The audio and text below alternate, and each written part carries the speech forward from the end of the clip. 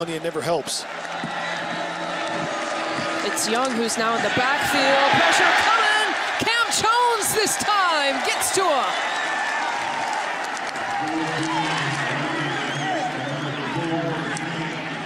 They brought the weak side backer and the corner Tiawan Mullen from the boundary. You got to be ready. You're into the boundary, ready for the corner blitz and weak side linebacker coming. Watch Mullen come right here. He's just reading the, the running back. He sees the running back Young stays in. It's a green dog. It wasn't an active blitz, but when that guy blocked,